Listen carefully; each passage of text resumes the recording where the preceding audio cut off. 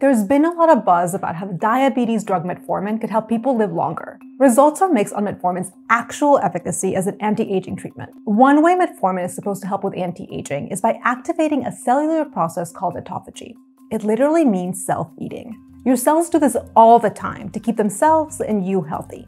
Let's go over how autophagy works and its role in aging. Think of autophagy as your cell's recycling system. Cells use autophagy to get rid of proteins and other cellular components that aren't working properly or could cause problems. This process goes a little something like this. Little sacs engulf proteins and structures like mitochondria, the powerhouses of cells. These sacs then fuse with another cellular compartment called the lysosome.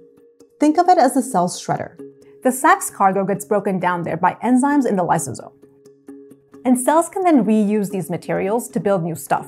That makes autophagy protective against aging and stress in two ways. It provides cells with energy, especially when food is low, and it prevents junk from piling up.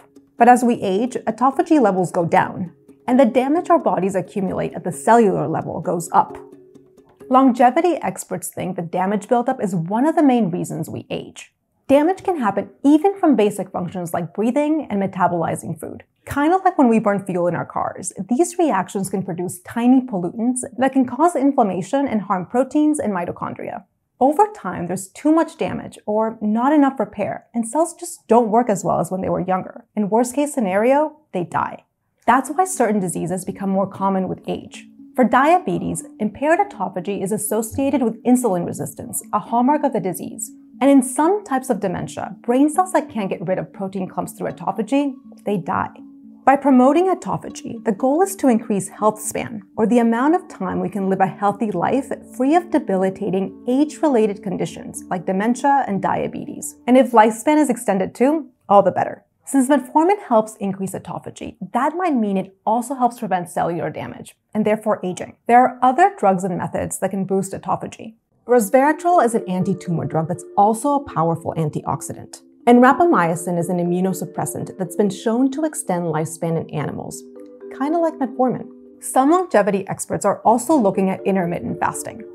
There's already preliminary evidence that it promotes brain health. When you don't eat, autophagy increases to fill the energy void. If you're interested in the health effects of fasting, check out this other video I made. In mice, research suggests that increased autophagy allows them to live longer and their organs to age less quickly. But that doesn't always translate to humans. Sometimes doses that are used in animal studies are way higher than what people can take safely. Plus, taking any medication has side effects. For metformin, those include a higher risk of Parkinson's disease and difficulty building muscle mass, potentially because of too much autophagy. And in transplant patients who take rapamycin more frequently and at higher doses than longevity biohackers, common side effects can include mouth ulcers, loss of kidney function, and high blood pressure and high cholesterol levels. Understanding how people age and why some people age better than others could help us develop better anti-aging therapies. And that's critical, given the world's population is aging fast.